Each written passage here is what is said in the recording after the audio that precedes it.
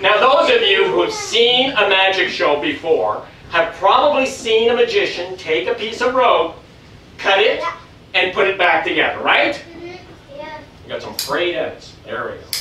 All right, I am going to show you guys step by step how that's done, okay? Peter, I want you to examine every inch of this rope, okay? Make sure there's no zippers, mirrors, trapdoors, or elephants inside the rope. Take your time. Uh, yeah, that's good. That's good? Okay, good. All right, all right. Now, it's just an ordinary piece of rope? Yes. That's right, or else I wouldn't have let you see it.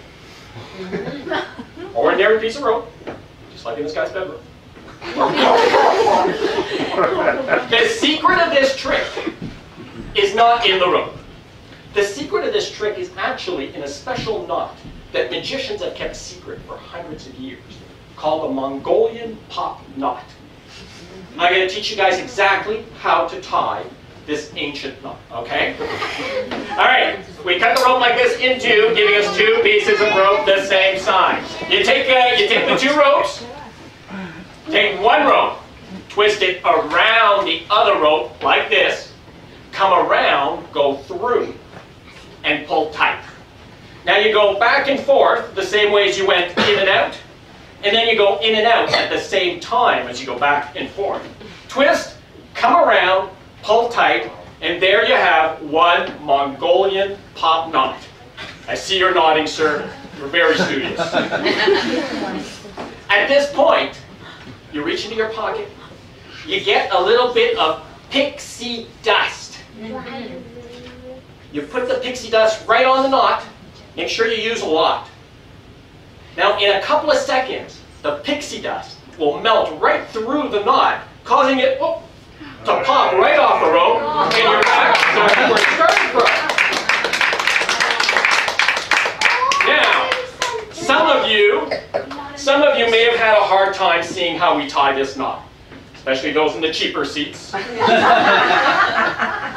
gonna, I'm gonna show you again, but this time I will cut the rope into three equal pieces, giving you twice as much chance to see how we tie the Mongolian pop knot.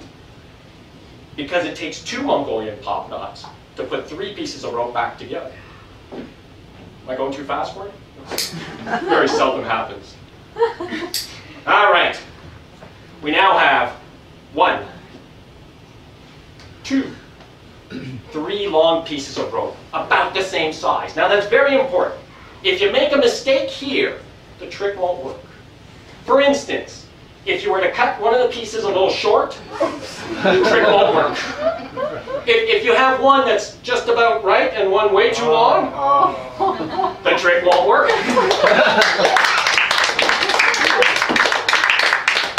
Now, this could happen to just about anybody.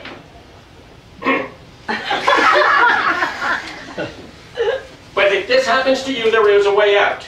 So while I'm teaching you this trick, I might as well teach you what we magicians call a contingency plan. you just fold the ropes over.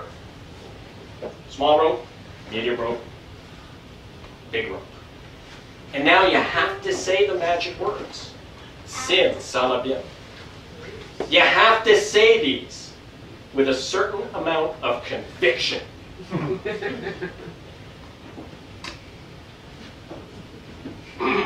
Simsalabim.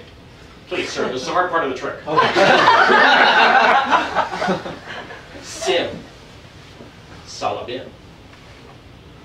And all of a sudden, the ropes will start to stretch and stretch and stretch until they're right back to where they're started.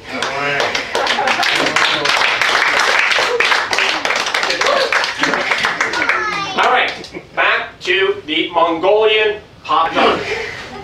All right, you take take two ropes, take one rope, twist it around the other rope like this, come around, go through, and pull tight. Now, you go back and forth the same way as you went in and out, and you go in and out at the same time as you go back and forth. Twist, come around, pull tight, and there you have one Mongolian pop knot. You're going to tie the second one the same way as you did the first. You may want to take notes. Take one rope, twist it around the other rope like this, come around, go through, and pull tight. You go back and forth the same way as you went in and out. Then you go in and out at the same time as you go back and forth. Twist, come around, pull tight, and there you have a second Mongolian knot. So at this point, you reach into your pocket, you get a little bit of Pixie dust. Very good, very good. That's very studious of you. Are there any questions at this point? Any questions at all? No. Where do you get pixie dust? Yeah. Where do you get pixie dust? Now, there's a question. Um, I, I, I like to grind my own. Yeah. I'd send the kids out of the house first because, you know, pixies make a heck of a noise in the blender. All right, at this point, the pixie dust will melt through the knot, causing the knots to pop right